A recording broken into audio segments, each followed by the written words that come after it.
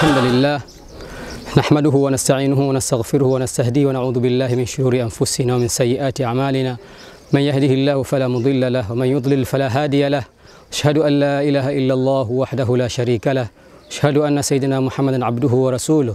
Amma bado, ndugu zangu katika iman ambao mnatufuatilia kupitia TV yetu ya online ya Nurul Mustafa sallallahu alaihi wasallam, tumo katika mwendelezo wa vipindi vyetu vya kumweleza Mtume sallallahu alaihi wasallam. Amesema salawatullahi wasalamuhu alaihi katika hadithi yake, arrahimun yarhamuhumur rahmanu tabaraka wa taala, irhamu man fil ardi yarhamukum man fis samaa. Asema Mwenyezi Mungu subhanahu wa taala kwamba watu ambao wenye huruma ni wale ambao huwahurumia ndugu zao waumini, ndugu zao wanyonge. Arrahimuna yarhamuhumur rahmanu subhanahu wa ta'ala, wenye huruma Mwenyezi Mungu nao huwahurumia. Irhamu man fil ardi, basi waoneni huruma wale ambao walikuzungukeni katika ardhi. Yarhamukum man fis sama, ili wakuhurumieni wale ambao waliko mbinguni. Mwenyezi Mungu subhanahu wa ta'ala ni rahim, tunajua katika sifa zake ni rahim, na sifa hii ndio sifa ambayo alojipamba nayo Mtume sallallahu alayhi wasallam, na ndio sifa ambayo iliyompelekea salawatullahi wasalamuhu alayhi kuweza kuwahodhi masahaba na kuweza kuwa nao karibu eh?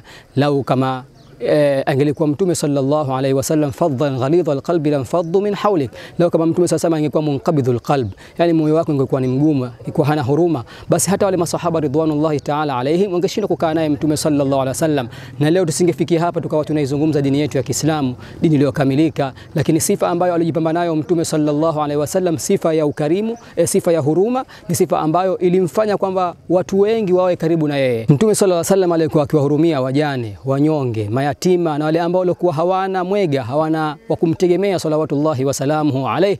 Kwa hiyo mpaka alikuwa akiwahurumia, akihurumia akihurumia wanyama eh, akihurumia vitu vilikuwa jamadati vilikuwa hata vilikuwa havina roho, kama inavyosimuliwa kwamba alipo, alipokuwa Mtume swalla sallam mara moja akiingia zake msikitini akasimama aka eh, kile kigogo ambacho alichokuwa salawatullah salamu alayhi cha mtende alichokuwa akisimamia kwa ajili ya kutolea hutuba kilikuwa kinalia. Baada ya kutengeneza baada ya kutengenezewa member Mtume sallallahu alaihi wasallam, Mtume akakichukua akikumbatia na na masahaba ridwanullahi ta'ala alaihim wakawa wanashangaa kwa nini Mtume sallallahu alaihi wasallam amekikumbatia kile kigogo kwa, kwa na huku akitokwa na machozi salawatullahi wasalamu alaihi.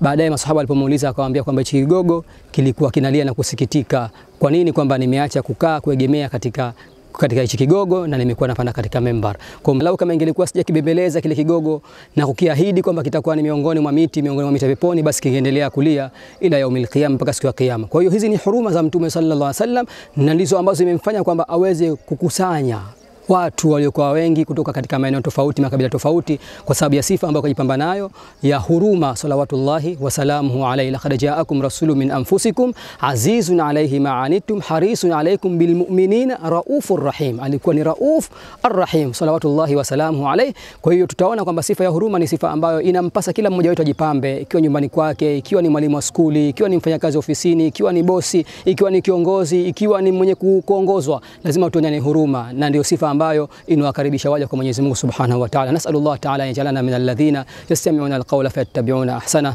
walhamdulillahi rabbil alamin.